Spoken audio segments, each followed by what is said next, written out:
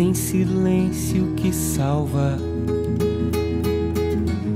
Tem silêncio que é nós. Meu primeiro contato com música, que eu lembro, é através do meu pai. Eu tenho. É, quando eu penso nisso, eu lembro de uma imagem assim. Ele sentado na beiradinha da cama, eu sentado no chão, ele pegando o violão e ele fazendo um acorde de Ré maior e fazendo aquele. Tchum, tchum, tchum, tchum, tchum, tchum, aquela brincadeirinha ali com o acorde. Tem filme Super 8, eu dançando nem Mato Grosso. Nunca vi rastro de cobra, nem couro de lobisomens. E eu cantando, falando essas coisas todas.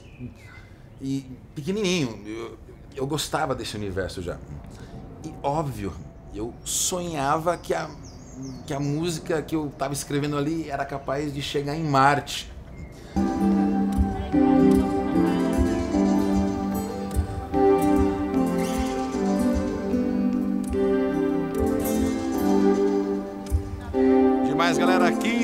Anos. 15 anos é foda.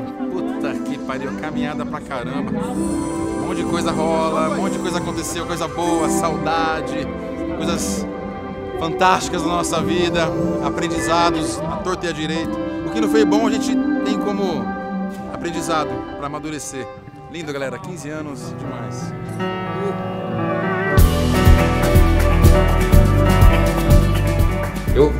As coisas do Simon e Garfunkel, dos Rolling Stones, dos Beatles, do Raul Seixas, do Legião.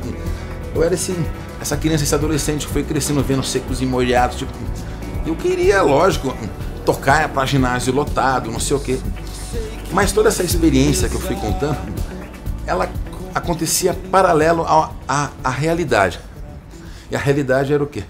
Eu era um moleque que morava numa família em Osasco, estudava na Fundação Bradesco, onde você estudava praticamente para sair dali já meio que trabalhando no banco. Teve um momento que eu falei assim, caramba, cara, eu saio de casa para trabalhar, tá escuro, eu vou, fico dentro de um departamento fazendo umas coisas que não dizem respeito a mim, e eu saio daqui, já é o fim da tarde e já tá escuro de novo, eu não vejo mais o sol.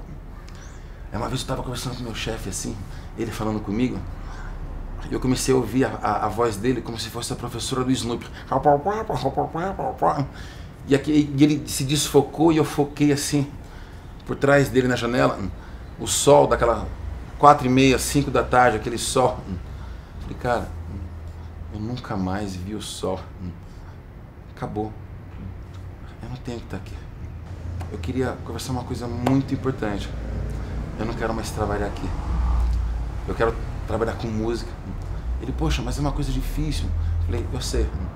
Eu vou viajar, eu vou trabalhar lá fora, de garçom, tocando também. E eu não queria fazer minha vida fora.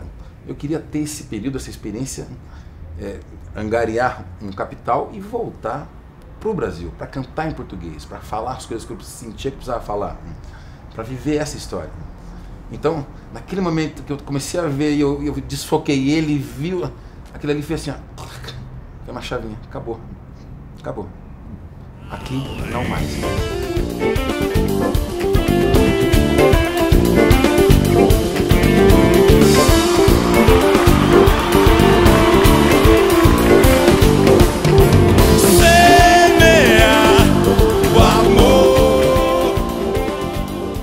tinha aquelas dúvidas, pô, é isso mesmo, não é? E tá. Então isso tudo ia minando a gente, né?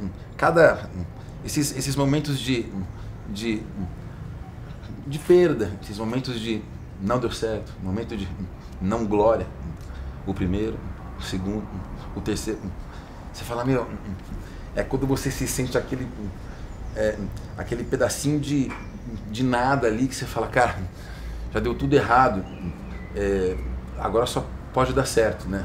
É uma frase do, do Sérgio Vaz, que fala, agora que já deu tudo errado, tem tudo para dar certo. É isso, a gente não pode ter essa pressa de que a coisa vai acontecer já. Mesmo que você acredite piamente nisso, às vezes o timing não foi esse, vamos tentar ali, em outro lugar, com outra galera, outro arranjo, outra cor, outro movimento. É isso.